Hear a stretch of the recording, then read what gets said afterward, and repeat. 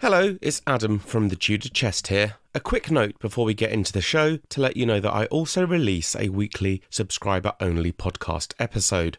For just £3.99 a month via Apple Podcasts or £5 per month via Patreon, which also comes with a whole host of other benefits, you can listen in ad free to all episodes that I release. To sign up to this, search for the Tudor Chest podcast in Apple Podcasts or sign up via patreon.com forward slash the Tudor chest.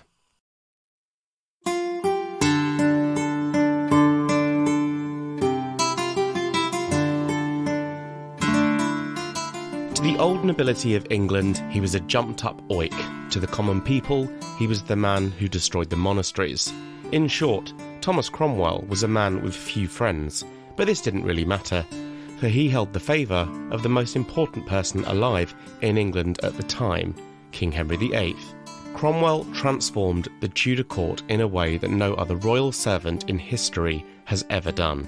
He was the creator of what we would now recognise as true English governance. He rose from relative obscurity to being made the Earl of Essex, but like so many at the time, when his favour with the king invariably ran out, he, like all other royal servants, was dispensable.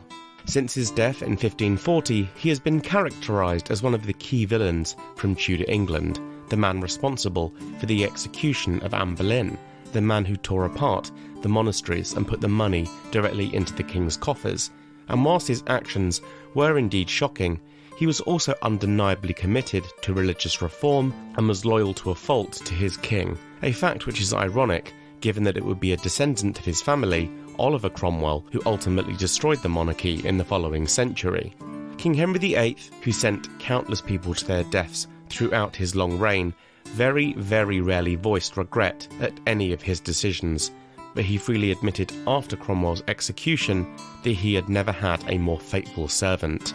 As Sir Mark Rylance returns to the role of Thomas Cromwell for season two of the spectacular and critically acclaimed series Wolf Hall, there is no more apposite time to explore the life of this most controversial figure from Tudor England, Thomas Cromwell, Earl of Essex, Henry VIII's most faithful servant.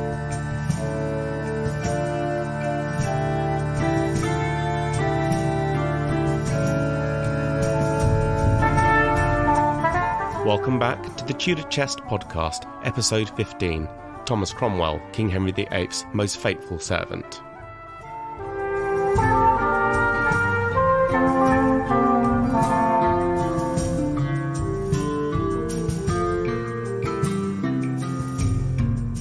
Cromwell's exact origins are not definitively known, it is generally believed that he was born and raised in Putney, which was then part of the county of Surrey, but is now in southwest London. He was born around 1485 to Walter Cromwell, a blacksmith and brewer, who has become known as something of a ruffian. For example, rumours have abounded that he found himself on the wrong side of the law once or twice, supposedly fined for watering down the ale that he'd sold although this seems more likely to have been mere gossip cooked up to discredit his son at a later stage. For what we do know is that Walter Cromwell was regularly called upon for jury service and was elected the Constable of Putney in 1495, not exactly the sort of post that would be filled by a known criminal.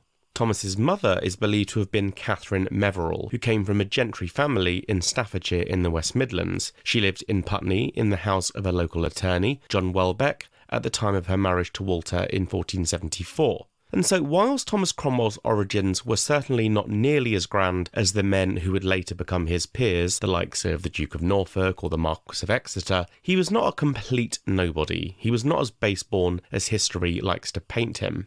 At some point in his youth, Thomas Cromwell left the family home and crossed the Channel into Europe. He would spend a great deal of time in various parts of the continent where, rather like Anne Boleyn, he learned his craft. He met people from all walks of life. He saw how the world truly worked. Cromwell spent time in Italy, France, and the Low Countries, areas which now refer to Belgium, the Netherlands, and Luxembourg. Accounts of his activities from the time are sketchy and contradictory. He was believed to have briefly served in both the French and the Italian armies and may have even once gone into battle against the English. However, he eventually fell into poverty. Whilst living on the streets in Florence, he came into the service of a Florentine banker, Francesco Frescobaldi, who had spotted Cromwell starving in the streets and given him a roof over his head. After leaving Italy, he travelled to the burgeoning mercantile centres of the Low Countries, living among the English merchants who had struck gold. It was here that Cromwell developed both a network of contacts and the ability to speak several languages. He also saw firsthand how money worked, experience that would put him in good stead later down the line. In 1518, Thomas Cromwell returned to Rome, this time on behalf of St Mary's Guild in Boston, Lincolnshire. The purpose of his trip was to gain Pope Leo's continued approval for the sale of various profitable indulgences. Now, an indulgence was not what it sounds like in the modern sense. Cromwell wasn't going to Rome to get the Pope's sign off to eat fuck tons of cake. An indulgence was basically a paid for fast pass to absolve someone of their sins. Yep, you paid the church and your prayers basically got bumped ahead of the queue.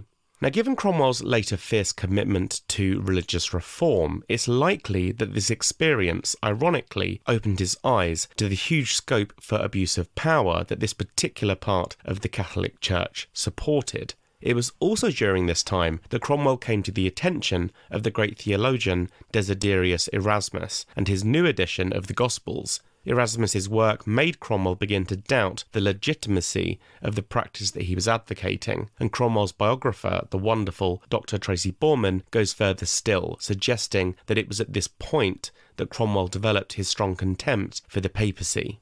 Cromwell had not remained entirely outside of England throughout his whole time, though, for in 1515 he married Elizabeth Wicks, who would go on to give Thomas three children, Gregory, born in 1520, and then two daughters, Anne, born around 1522, and Grace in around 1527. Devastatingly for Thomas Cromwell, his family was completely torn apart during an outbreak of the dreaded sweating sickness in 1529, which claimed the lives of both his wife and his daughters. And although he would not be alive to witness it, Cromwell's son Gregory also died of the illness in the 1540s. By 1520, Cromwell was living permanently back in England and having cut his teeth on the continent, put that experience to good work and was firmly established in London's mercantile and legal circles. By 1523, he had obtained a seat in the House of Commons as a burgess, a now obsolete title which at the time referred to someone responsible for a particular borough. It's somewhat comparable with what we might now call a local councillor. His first forays into the world of the nobility came in 1523, when he became a legal adviser to Thomas Grey, the second Marquis of Dorset. This led to his coming to the attention of the Lord Chancellor, Thomas Wolsey, who by 1524 had taken Cromwell on as part of his household. His former negative experiences with the Catholic Church in Rome now came to the forefront, for he assisted in the dissolution of nearly 30 monasteries, which, although ostensibly was done to raise funds for Wolsey to found the King's School Ipswich and Cardinal College Oxford, was more likely personally satisfying for Cromwell himself. By 1529, Cromwell was personally appointed by Wolsey to form part of his council as one of his most senior and trusted advisers. Unfortunately, by this stage, a certain young brunette was well established at the court and was entirely ripping up the status quo. I am talking, of course, about Anne Boleyn. Her and King Henry VIII's love affair and the latter's determination to annul his marriage to Catherine of Aragon was, of course, the biggest challenge that Wolsey ever faced and when he was unable to secure the annulment, he soon felt the pinch of King Henry VIII's displeasure. Wolsey's fall from grace naturally impacted his closest allies, with Cromwell one such figure. Interestingly, however, Cromwell's unwillingness to utterly discount his former patron may very well have been a major factor in King Henry VIII's own initial warmth towards him. The court of Henry VIII was a hotbed of intrigue, of suspicion, power politics, and betrayal. To coin a modern phrase, no one wanted to be seen too close to a drowning man, and yet Cromwell remained loyal to Wolsey throughout, which George Cavendish, Wolsey's first biographer, suggests actually endeared him to the king. This was not a man who would jump ship, but instead stand by his supporter, irrelevant of the status quo. For the king, surrounded as he was by flatterers, such loyalty and transparency was equal parts refreshing as it was believable. Cromwell successfully overcame the shadow cast over his career by Wolsey's downfall, and by November 1529 he had secured a seat in Parliament as a member for Taunton in Somerset, and was reported as being in great favour with Henry VIII. Around a year later, in December of 1530, Cromwell's stock rose greatly, for he was appointed by the king to the Privy Council. Cromwell had well and truly arrived. One of the most significant people from Henry's court that would come to utterly define Cromwell's life and his later reputation is Anne Boleyn. From 1527, Henry VIII had sought to have his marriage to Catherine of Aragon annulled so that he could lawfully marry Anne. The overall basis for the annulment and what it meant beyond a simple royal divorce is too detailed to cover here, but simply put, the champions of the annulment not only believed that Catherine was unlawfully Henry VIII's queen, but also acted with self interest in mind, for the situation provided an opportunity to enforce major religious reform. By the autumn of 1531, Thomas Cromwell had taken control of the supervision of the king's legal and parliamentary affairs, working closely with Sir Thomas Audley. Cromwell was now part of the inner circle of the King's Council, and by the spring of 1532 he had begun to exert influence over elections to the House of Commons. The third session of what is now known as the Reformation Parliament had been scheduled for October 1531, but was postponed until the 15th of January 1532 because of Henry VIII's indecision as to the best way to proceed towards the annulment with Catherine of Aragon. Cromwell favoured the assertion of royal supremacy over the recalcitrant church, and he manipulated support in the House of Commons for the measure by resurrecting anti clerical grievances expressed earlier in the session of 1529. Once he had achieved his goal of managing affairs in Parliament, he never relinquished it. In March of 1532, speaking without royal permission, he urged the House of Commons to draw up a list of clerical abuses in need of reform. On the 18th of March 1532, the Commons delivered a supplication to the king denouncing clerical abuses and the power of the ecclesiastical courts, and describing Henry as the only head, sovereign lord, protector, and defender of the church. On the 14th of May 1532, Parliament was prorogued. Two days later, Sir Thomas More resigned his post as Lord Chancellor, realizing that the battle to save the marriage with Catherine of Aragon was now lost. Henry and his sweetheart Anne Boleyn formally married on the 25th of January 1533, although it is speculated that a secret marriage had taken place on the 14th of November 1532.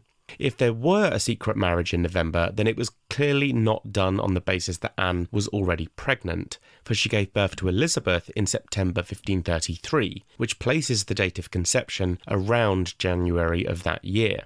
Cromwell's ever growing power was soon given full scope, for in February of 1534 he introduced a new bill restricting the right to make appeals to Rome, reasserting the long standing historical fiction that England was an empire and thus not subject to external jurisdiction. In March of that same year, Thomas Cranmer, a former chaplain of the Boleyns, was given the mother of all promotions when he was consecrated as Archbishop of Canterbury. This was comparable in some respects with Thomas Becket 400 years earlier, who went from Lord Chancellor into the Archbishopric of Canterbury, the purpose of which was to make the Church more agreeable to the King's desires.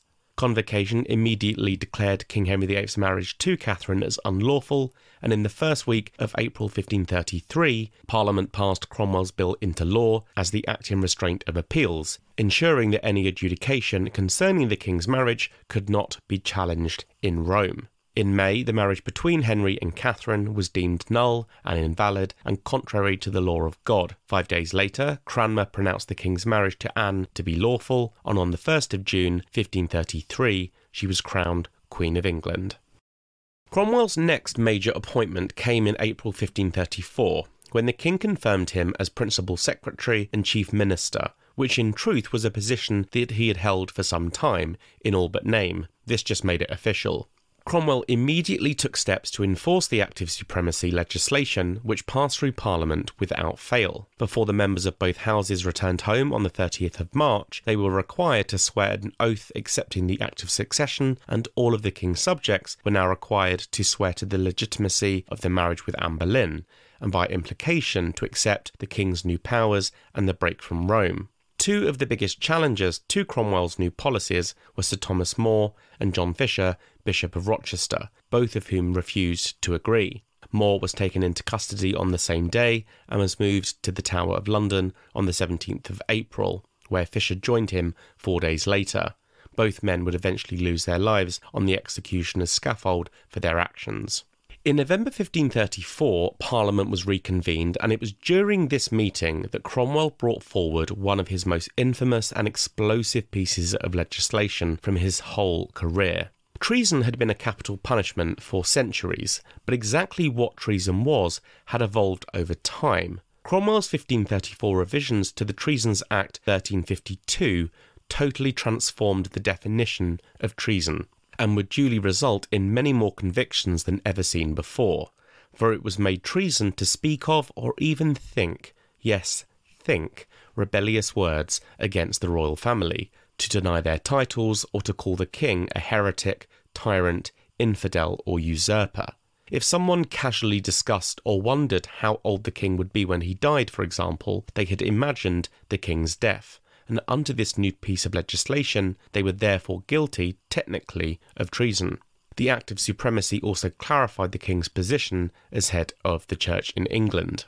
Cromwell's relationship with Henry VIII's second wife, Anne Boleyn, had generally been strong. Together, they had schemed and connived to orchestrate Anne's path to the throne, and both were committed to religious reform. It was in this latter point, however, that their relationship eventually took a major turn. Anne Boleyn had always been a controversial figure. Unlike Cromwell, she had few major supporters, which perhaps explains why they formed a close bond. But as Anne Boleyn's own power with the king began to wane, following her not providing Henry with a healthy male heir, the relationship with Cromwell also began to flounder.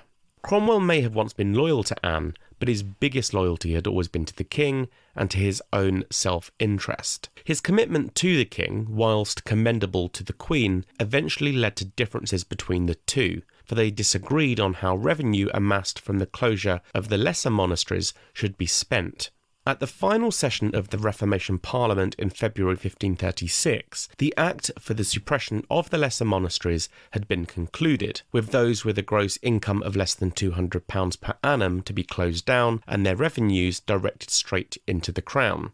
It was this that caused a clash with Anne Boleyn, who wanted to see the proceeds of the dissolution used for educational and charitable purposes, whereas Cromwell wanted to see it going straight into the king's coffers. The gauntlet was thrown down on the 2nd of April 1536, with Anne Boleyn making the first move. Her almoner, John Skip, gave a sermon before the entire court in which he recounted the story of the good Queen Esther from the Old Testament. In the story, King Ahasuerus is tricked by his advisor Haman into ordering the killing of the Jews, but the Jews are then saved when Queen Esther manages to change her husband's mind, who in turn hangs Haman for his treachery. The inference was clear for the whole audience. Esther was Anne Boleyn and Haman was Cromwell. Skip's diatribe would surely have had to have had Anne's approval and was intended to persuade courtiers and privy councillors to change the advice that they had been giving the king and to reject the temptation of personal gain. The sermon was taken so seriously that Skip was called before the council and accused of malice, lack of charity, sedition, and even treason. Anne Boleyn may have felt like she'd won a great victory, but it ultimately backfired spectacularly. Cromwell had been one of her very few supporters, but now the pair were in open war. Anne had many enemies at court and had never been popular with the people of England, who remained loyal to the former queen, Catherine of Aragon. Had Anne Boleyn given Henry VIII sons, then none of this would have mattered. Her position would have been absolutely secure. But with only a daughter, the Princess Elizabeth, in the royal nursery, and two, possibly three failed pregnancies, Anne was in a highly precarious position, and so Cromwell pounced. Cromwell and the king had a major row over what Henry VIII perceived was Cromwell overreaching his powers. Cromwell had championed an alliance with the imperial ambassador and had gone to some lengths in setting it up without royal approval. The king was furious and gave Cromwell a major dressing down in front of the whole court. There were even rumours that the king slapped him in the face. Eustace Chapuis, the imperial ambassador and a long term enemy of Anne Boleyn, made it clear that this was a big turning point for Cromwell, for Anne had always championed a French alliance, and so it was perceived that she was responsible for Henry not wishing to explore an imperial alliance instead. Chapuis also states beyond doubt that what happened next was the work of Cromwell and not the king. Following this big row with the king, Cromwell left court, pleading time to recover from pure sorrow, or to use modern parlance, he pulled a sickie. It is more likely, however, that this week long sojourn away from the court had an altogether more sinister purpose. He would use it to plot the downfall of Anne Boleyn. Cromwell was an incredibly gifted lawyer. He knew the law and he knew the scope of the law like the back of his hand and so he also recognised what could and could not be used as the basis for a divorce from Anne Boleyn. The fact that Anne Boleyn had not provided Henry with a son was not sufficient grounds for a divorce, nor was there a religious basis, which had been the tenuous grounding behind the break from Catherine of Aragon. And in any case, Anne Boleyn was herself becoming majorly dangerous to Cromwell's own safety. With her and her family around, Cromwell was in danger, as were the policies that he hoped to see come to fruition. Anne had proven that she had an incredible knack for regaining the king's love and trust. For Cromwell, the realization soon dawned that an annulment would not be enough. Anne Boleyn had to be destroyed completely. Luckily for Cromwell, the king himself was also growing impatient with his second wife. What so attracted Anne to Henry in the first place, her fiery temperament, her confidence, and her forthright manner, were all thrilling in a mistress, but they were grating in a wife. Couple that with her not providing the longed for male heir, and the fact that Henry had become enamoured with one of the Queen's ladies, a certain Jane Seymour, and a recipe for disaster was soon bubbling away against Anne Boleyn. Cromwell knew how to take all of this, condense it down, and move against Henry's second queen. Cromwell would use a combination of the rewritten 1534 treason laws and Anne's own flirtatious personality to set the trap which would see the Queen and five men all lose their lives on the executioner's scaffold. As Queen, Anne was at the centre of the court revelries and had learnt the art of flirtation on the continent in her youth a coterie of male admirers were intermingled amongst Anne Boleyn's ladies in waiting, including her musician, Mark Smeaton, Francis Weston, a gentleman of the King's Privy Chamber, Henry Norris, a close friend of the King's, and also George Boleyn, Viscount Rochford, Anne's brother, all of whom vied for the Queen's attention and that of her ladies. Now, although this group flirted and gossiped, there is zero hard evidence to suggest that anything more than that ever went on. What is beyond doubt, though, is that one exchange would prove particularly explosive between Anne and Henry Norris. Norris had been courting one of Anne's cousins, Madge or Mary Shelton, but had not gone through the lengths of actually marrying her. When the Queen asked him why, he responded that he was tarrying for the love of another. Anne, ever a wit, snapped back that you look for dead men's shoes, for if aught but anything came to the king but good, you would look to have me. In other words, you want to marry me when the king is dead. Now, whilst this was nothing but mere banter, it had a much, much darker undertone, for it referenced the king's death, and in so doing, Anne had spoken treason based on the updated 1534 Treasons Act. Exactly how this exchange came to Cromwell is not known, nor can we say definitively when the idea of framing Anne came into being. Either way, within days, Cromwell began to gather evidence. He met with Mark Smeaton, who confessed to adultery with the Queen. Now, the evidence is split on whether Smeaton was ever tortured. My instinct tells me that he was, for he was the only one of the men accused who could have been tortured, giving his lowly birth, and he was also the only one who ever actually admitted to sleeping with the Queen. The other men who were later accused alongside Anne and Mark Smeaton were the aforementioned Francis Weston, George Boleyn, and Henry Norris, and then rounding it out was William Brereton, men who coincidentally were all opponents of Cromwell and his policies. Cromwell examined Anne's ladies in waiting and slowly but surely pieced together a narrative which would bring the Queen down. As this went on, Anne herself was completely ignorant of the trap in which she would shortly fall, although evidence suggests that she also harboured concerns for her and her daughter's well being, instructing her chaplain, Matthew Parker, to look after Princess Elizabeth should anything bad happen to Anne. And so, whilst Anne was unaware of just how precarious her position was soon to be, some sense of impending doom had been crossing her mind. One of the biggest questions regarding Anne's downfall is whether Cromwell took the initiative on single handedly or whether he was covertly instructed to do it by the king. It is a question that has split historians ever since Anne's death. Eustace Chapuis reported that Cromwell had been authorised and commissioned by the king to prosecute and bring an end to the mistress's trial, to which he had taken considerable trouble, and that he set himself to devise and conspire the said affair. And so, whilst this statement makes it clear that Cromwell cooked up the story, it also implies that he did so on the king's orders. At the end of April 1536, Cromwell returned to the court and sought an audience with the king.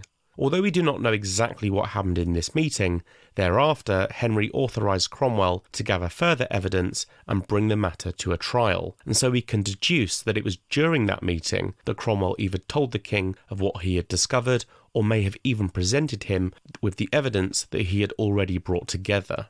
Now, without fresh evidence coming to light, it is unlikely that we will ever know the exact truth as to what the origins of Anne Boleyn's downfall were. And in any case, it ultimately wouldn't change the fact that the Queen and the five men accused alongside her would all suffer execution. Anne and her brother George stood trial on Monday, the 15th of May, whilst the other four men accused with them were condemned on the Friday beforehand. The five men were executed on the 17th of May 1536, and on the same day, Thomas Cranmer declared Henry's marriage to Anne Boleyn as invalid on the basis of Henry's former sexual relationship with Anne's sister, Mary, a ruling which by extension illegitimised their daughter, Princess Elizabeth. Two days later, on the 19th of May 1536, Queen Anne was herself executed, becoming the first queen consort in English history to suffer the ultimate punishment. Even though he was fundamental to Anne's downfall, there was still some measure of respect there. For when Cromwell was asked for his opinion on Anne Boleyn, he summed her up by saying intelligence, spirit, courage. On the 30th of May, the King married Jane Seymour, and in June, a new Parliament passed the Second Act of Succession, securing the rights of any children born to Queen Jane as heirs to the throne. Cromwell's position was now stronger than ever. He succeeded Anne Boleyn's father, Thomas Boleyn, 1st Earl of Wiltshire, as Lord Privy Seal on the 2nd of July 1536, and just six days later he was raised to the peerage, being made Baron Cromwell of Wimbledon. In July 1536, the first attempt was made to clarify religious doctrine after the break from Rome. Bishop Edward Fox tabled proposals in convocation with strong backing from Cromwell and Cranmer, which the king later endorsed as the Ten Articles and which were printed in August 1536. Cromwell circulated injunctions for their enforcement, which proved to be deeply unpopular with huge swathes of the common people and would eventually lead to major political unrest in September and October across the Midlands and the north of England, a period which has become known as the Pilgrimage of Grace, which also found support among the gentry and even the more conservative members of the nobility. The rebels' grievances were wide ranging, but the most significant was the suppression of the monasteries, for which the blame fell flatly at the king's evil counsellors, principally Cromwell and also Thomas Cranmer, not the king himself. The uprising was quickly brought down, but undoubtedly was the first major chink in Cromwell's hitherto gleaming armour, for it showed the king just how despised his policies were, policies that had been orchestrated by Cromwell. The putting down of the Pilgrimage of Grace also weakened Cromwell further by the fact that a Privy Council had been gathered to plot how the pilgrimage could be brought down. Cromwell may have been incredibly clever, and he may have amassed a big workforce, but this workforce was made up of scribes and law writers, not soldiers. The old nobility of England, people such as the Duke of Norfolk or the Marquis of Exeter, by virtue of their great estate, also held large numbers of fighting men in their ranks. They had experience of war and would be able to provide men to the king to crush the rebellion. And this was something that Cromwell himself was unable to provide. He would also have to contend with this group of men being a constant presence, and they were a danger, for they held no love for Cromwell and his progressive ways. Even so, the king continued to support his chief minister and confirmed his support of Cromwell further by appointing him to the most noble order of the Garter on the 5th of August 1537, the most senior order of knighthood in the English honours system, which it still is to this day.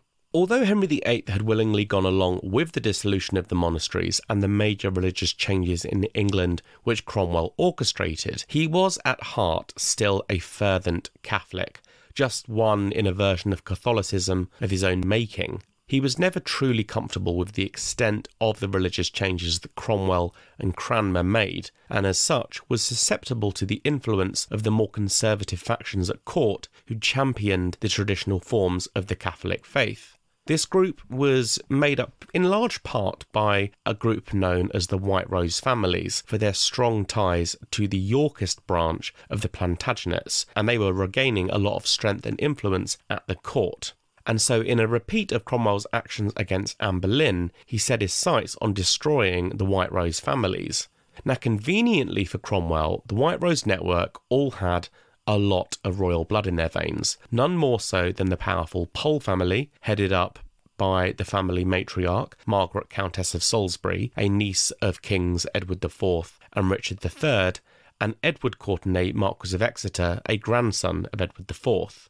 Henry VIII never truly felt secure on his throne, and so Cromwell took the initiative against his enemies to get them out of the picture, leaning heavily on Henry's paranoia about being ousted by extended members of his family, such as the Poles and the Courtenays. Based on little more than mere gossip, Cromwell imprisoned the Marquis of Exeter, Henry Pole, Baron Montague, Geoffrey Pole, Sir Edward Neville, and Sir Nicholas Carew on charges of high treason in what has become known as the Exeter Conspiracy, which at its crux looked to oust the king and place the Marquis of Exeter on the throne, using evidence acquired from Sir Geoffrey Pole under interrogation in the Tower of London. Soon all of the men, bar Geoffrey, would be dead. Two years later, Margaret Pole, Countess of Salisbury, would also die for her supposed part in the conspiracy. Few historians believe that there was any real threat to the king by the White Rose Network, and having written a book on the Pole family myself, I am broadly of the same opinion.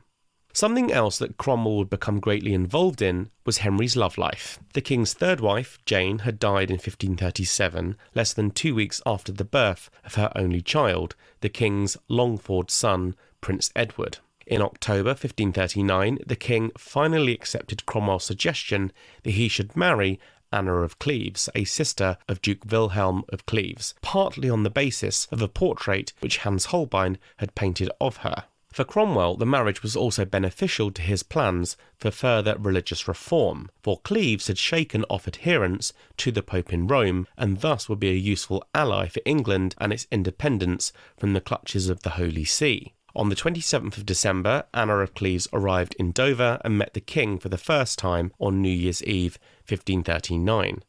The meeting did not go well, for Anna did not recognise Henry, which to be fair to her wasn't really her fault, for Henry VIII had arrived in disguise to surprise her. But for the king, her ignorance of his little game utterly transformed the appeal that he felt for her as his fourth wife. After the meeting, he was heard screaming at Cromwell, I like her not, I like her not. Now, whilst beauty is in the eye of the beholder, it is unlikely that Anna of Cleves was as ugly as history has painted her. She was certainly unlike her namesake, the glamorous and petite Anne Boleyn, for Anna was said to be quite tall, and she was also wearing the unflattering Germanic fashions of her homeland at the time, but this did not matter. Unfortunately for the king, there was no going back. Cromwell's treaties with Cleves had been watertight. He had signed the agreement with the Duke of Cleves and was honour bound to move ahead with the marriage. Now, this isn't to suggest that the king didn't try to break it apart. On several occasions, the king summoned his ministers and attempted to find a loophole out of the marriage,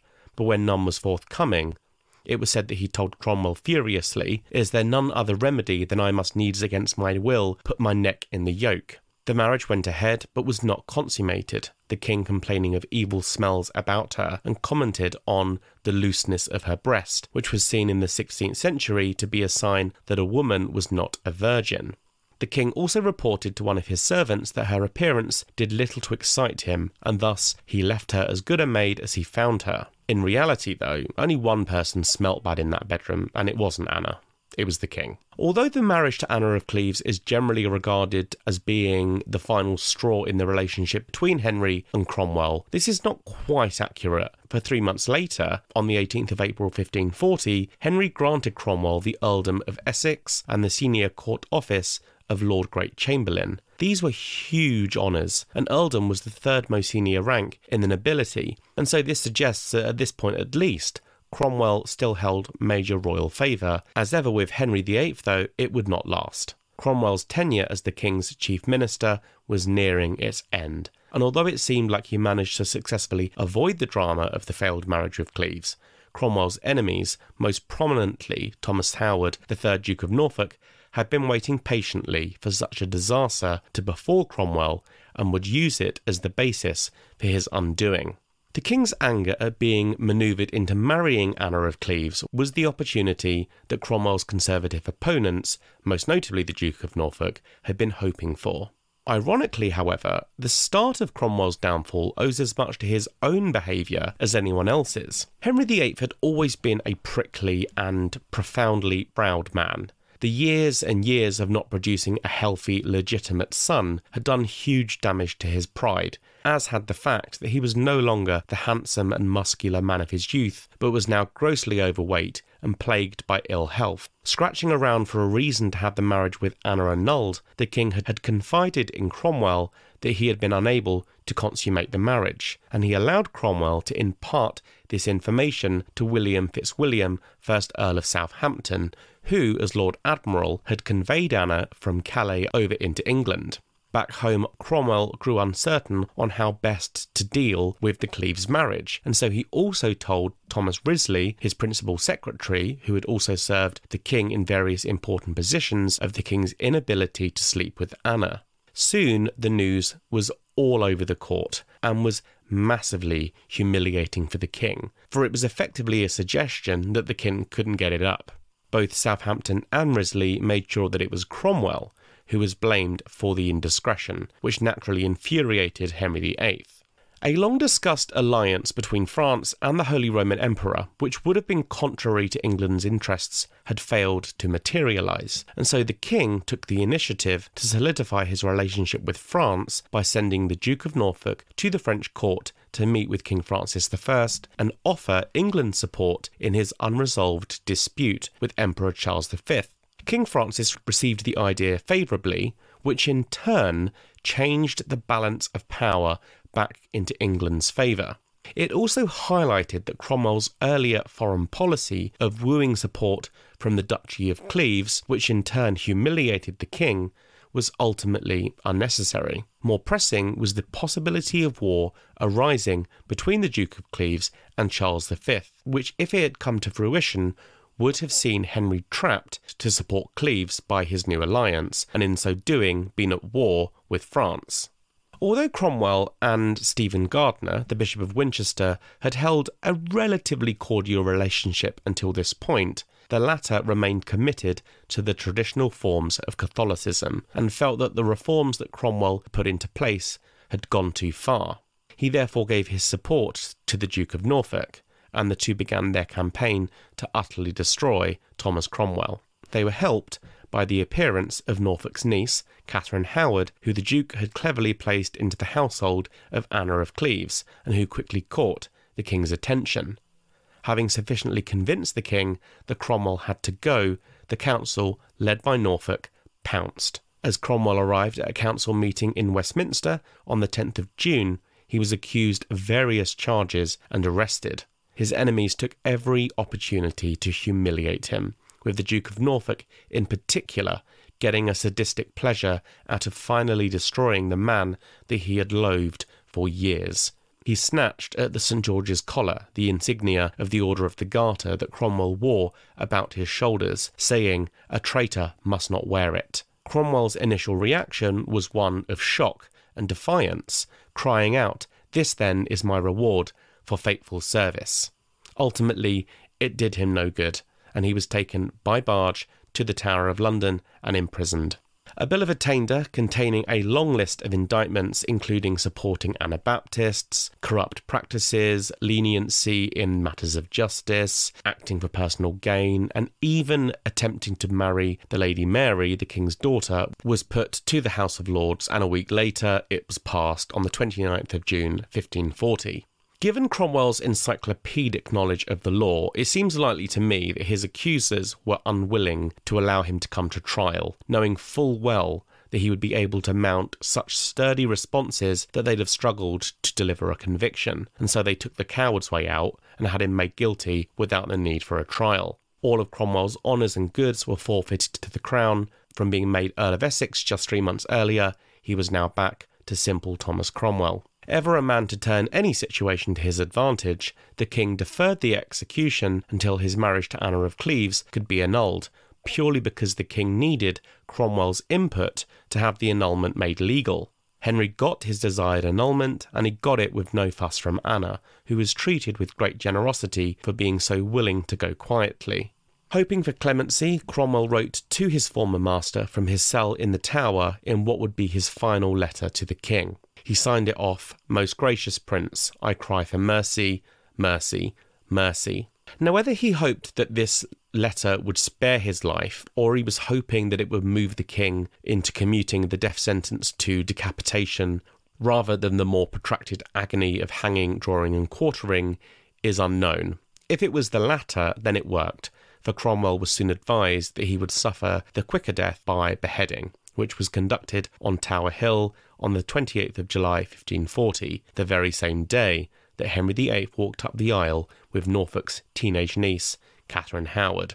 On the scaffold, Cromwell prayed and gave a speech in which he told the onlookers that he died in the traditional Catholic faith, before denying that he had ever aided heretics. Sadly, although the king had commuted the execution to a simple beheading, it would not go as smoothly as Cromwell had hoped for.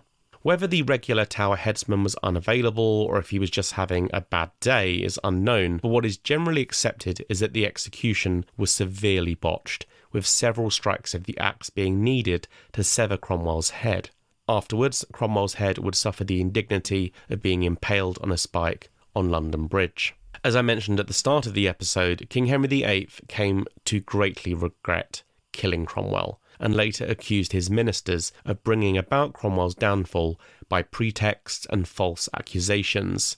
The French ambassador, Charles de Marillac, reported in a letter that the king was now said to be lamenting his decision, going so far as to say that under the pretext of some slight offences which he had committed, that they had brought about several accusations against him on the strength of which he had put to death the most faithful servant he had ever had. Thomas Cromwell is undoubtedly one of the most fascinating and divisive figures from the Tudor era. His hand in bringing down Anne Boleyn and his poor treatment of the religious houses casts an understandable shadow over his memory, but I do not believe that he was the great evil villain that history has painted him to be. And although I know the work of the late Dame Hilary Mantel is semi fictionalised, I appreciate that she has tried to tell another side of his story. It's thanks to Mantel's Wolf Hall trilogy that interest in Cromwell has undergone something of a resurgence in the past decade, and also that the man himself is now viewed as more human than the villainous caricature of the past. Despite his many bad deeds, I have to admit that I do have a bit of a soft spot for Cromwell. I get the sense that he would have been the kind of guy who you could have a laugh with. Let me put it this way I'd have rather seen him down the pub for a beer than I would Thomas More. His significance in English history cannot be overstated. It was remarkable what he achieved. The son of a blacksmith from Putney who turned the kingdom upside down and set in store governance which can still be felt to this day. And so that brings me to the end of this week's episode of the Tudor Chest Podcast. Thank you so much for listening.